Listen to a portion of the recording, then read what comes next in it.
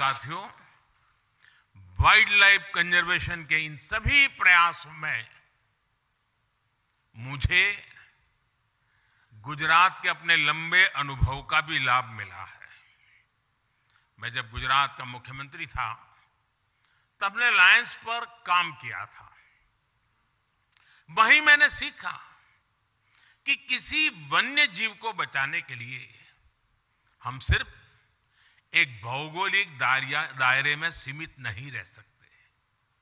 हमें इसके लिए स्थानीय लोगों और एनिमल के बीच एक रिश्ता बनाना होगा। ये रिश्ता इमोशन का भी होना चाहिए और इकोनॉमी का भी होना चाहिए। इसलिए गुजरात में हमने वन्य प्राणी मित्र कार्यक्रम चलाया। शिकार जैसी गतिविधियों पर निगरानी रखने के लिए ये व्यवस्था शुरू की गई। इसके लिए कैश रिवॉर्ड भी रखा गया है।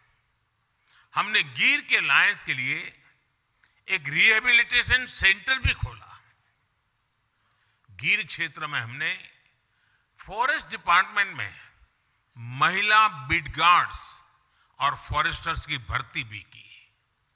इसने लायन है तो हम है हम है तो लायन है की भावना को निरंतर मज़बूत किया। आज आप भी देखते हैं कि गीर में अब टूरिज़्म का, इको टूरिज़्म का बहुत बड़ा इकोसिस्टम बन चुका है। साथियों गिर में जो इनिशिएटिव लिए गए हैं उसी तरह प्रोजेक्ट टाइगर की सफलता के भी कई आयाम हैं। इससे टूरिस्ट एक्टिविटी बढ़ी और हमने जो जागरूकता कार्यक्रम चलाए, उससे टाइगर रिज़र्व में, मैन एनिमल कॉन्फ्लिक्ट में भी भारी मात्रा में कमी आई। बिग कैट्स की वजह से टाइगर रिज़र्व में पर्यटकों की संख्या बढ़ी और इससे स्थानीय अर्थव्यवस्था को मजबूती मिली है।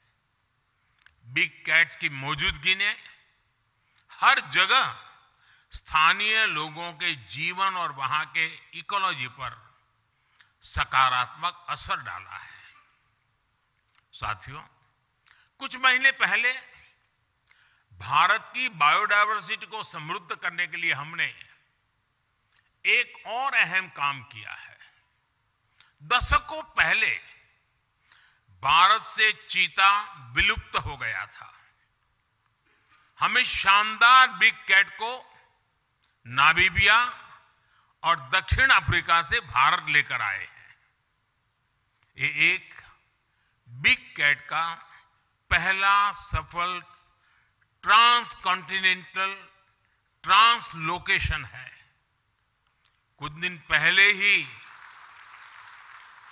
कूनो नेशनल पार्क में चार सुंदर शावकों ने जन्म लिया है। भारत की धरती से चीता करीब करीब पचहत्तर साल पहले विलुप्त हो गया था। यानी करीब करीब पचहत्तर साल बाद भारत की धरती पर किसी चीता ने जन्म लिया है। ये एक बहुत ही शुभ शुरुआत है। ये इस बात का भी प्रमाण है कि बायोडायवर्सिटी की रक्षा और उसकी समृद्धि के लिए इंटरनेशनल कोऑपरेशन कितना महत्वपूर्ण